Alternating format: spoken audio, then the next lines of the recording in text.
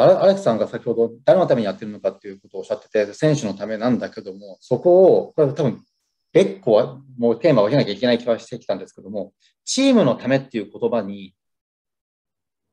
置き換えて、なんだかんだそのイニシアチブを取ってるコーチ、指導者っていうことが結構多いんじゃないかと気は、今、先ほど今、あの、と思ったんですけども、そのチームの中に選手が入ってくるじゃないですか。だからチームのためっていう言葉で含まれてる感を出しておいて、実はそこにどこまで選手のことを、そういうことをティーチングでやってるチームだったりとかすると、思い込みの選手像ですよね、指導者の。選手が吸い上げてるのもままままずないので、で、なんかあったら言え、言いたことがあったら言えとは形式に言っといて、言ってきたら何、生意気なみたいな感じだったりとか、言えない雰囲気を出しておいて聞いてるっていうパフォーマンスはしてることもすごく多いじゃないですか。なってくると、そのチームのためという言葉をもう少し掘り下げて考えていかないと、うんと、まあ昨日の中にもあるんですけども、ね、ジュリさんもおっしゃってた、やっぱりその、えー、指導者がいろんなものを潰しちゃってるっていうところになってきちゃうかもしれないですよね。うん。最初これはもう分けましょう。別にしましょう。はい。いや、ありがとうございます。ここから乾き。いや今のその、まあ、チームとしてどうのこうのっていうところにかつながるのかなと思ったんですけど、まあ、まだそこまでできてないんですけど、あの例えばその医療とか保健福祉の世界って、あのえー、なんだろう、まあ、対象者を中心にして、あの、アセスメントをしてカンファレンスをするっていうのが当たり前なんですよね。でもまだあのスポーツの世界ってそこまで行ってないのかなっていう、全体見てもそうかなって思うんですよ。ものすごくこう力のある選手で、チーム北島とか あれぐらいのレベルまでいったら、日本だったら実現してるのかなとは思うんですけど、やっぱり選手を本当に強くするんだったら、そういった仕組みは必要だろうなって、まあ、アントラージュだとは思うんですけど、そこでやっぱり、あの、正確なアセスメントを取る方法っていうのが、まあ、競技ごとに確立してるかって言ったら、まだまだなのかなとも思いますし、多分その、例えば栄養だったらあるよ、心理だったらあるよっていうのはあると思うんですけど、トータルで、あの、みんなの前でポンと出せるような、だからそれをなんでやらなあかんかって言ったら、多分選手の力を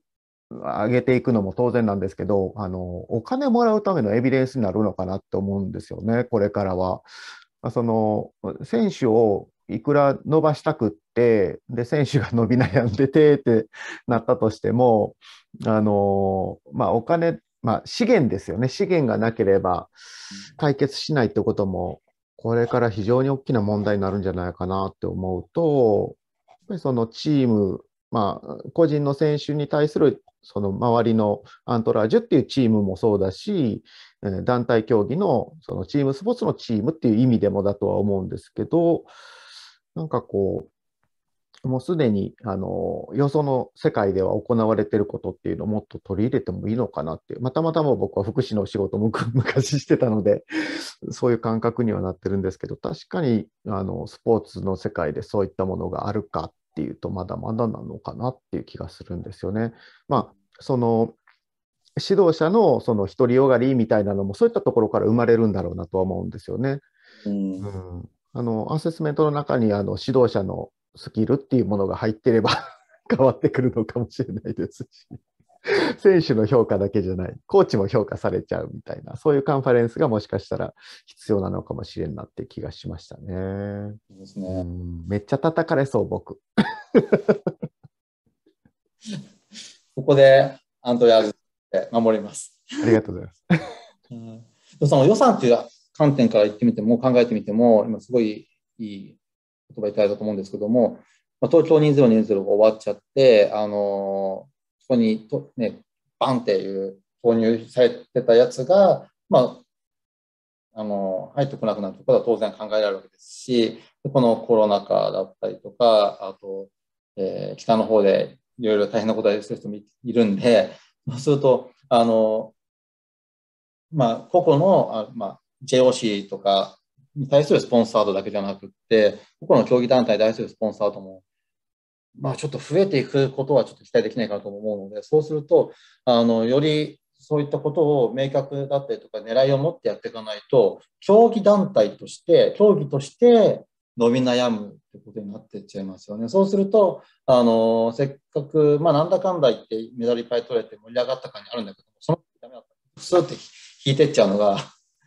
あの、国民性だと思うんで、現状の、まだ、まだ文化に定着しきれてないスポーツがってなってくると、やっぱりあの、ここで伸び悩まないためにも、それぞれの競技が、チームとか選手だけではなくて、競技団体として考えてたときには、今の花岡さんの話っていうのは、すごく大事なキーワードになってくると思うんですけども、あの、協会の長であるジュリさん、いかがでしょう？あのその通りですよ。やっぱ厳しくなってくるので。えー、の呼びなの呼び悩んでます。ねそこは絶対減りますもんね。うん。やっぱ、まあ今、まあパラもそうですけど、オリもやっぱりそういうふうに強化費が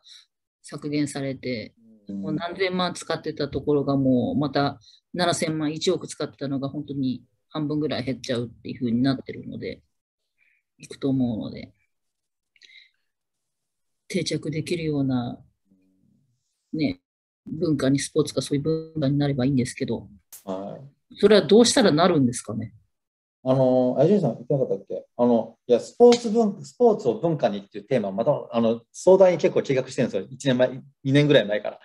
そうなんですね。あいや文化とは何かを考えながら、ちょっと考えてやっていかなきゃいけないなと思ってて、あの、うん、地道に準備はしてます。まだ全然いかなくてすみません。そうなんですね。でもそ、そこは、あの、文化にしていかなきゃいけないと思ってるっていう言葉の裏にはまだ文化になりきれてない。日本では。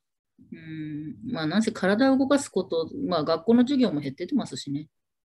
そうですね。その背景もいろいろありますよね。結局、あの、伸びない子、うん、これここで言っていいのか分かんないですけども、あの、運動できない子たちが嫌な思いするわけですよね。で、その人たちが得てして頭良かったりすると、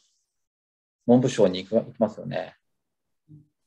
そうすると授業数減らそうと思ったら恨みがあるスポーツからっていうところに何のためらいもないので なんで、あの、昨日のあの話じゃないですけど、みんなで仲良くしましょう。スポーツを通して仲良くしましょう。どこか入っていかないとダメなんです。